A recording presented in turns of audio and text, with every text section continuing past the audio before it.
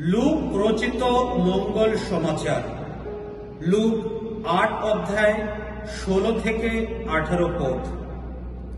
বাতি জ্বালিয়ে কেউ তা পাত্র দিয়ে ঢেকে রাখে না বা খাটের তলায় রেখেও দেয় না। তা রেখে দেয় বাতিদানেই যাতে বাড়ির ভেতরে যারা আসে, তারা যেন আলোটি দেখতে পায়। লুকোনো এমন কিছুই নেই যা একদিন বেরিয়ে পড়বে না। গোপন এমন কিছুই নেই যা জানা যাবে না, যা আলোয় বেরিয়ে আসবে না। তাই, তোমরা যে এখন কীভাবে এইসব কথা শুনছ, সেই বিষয়ে সাবধান থেকো।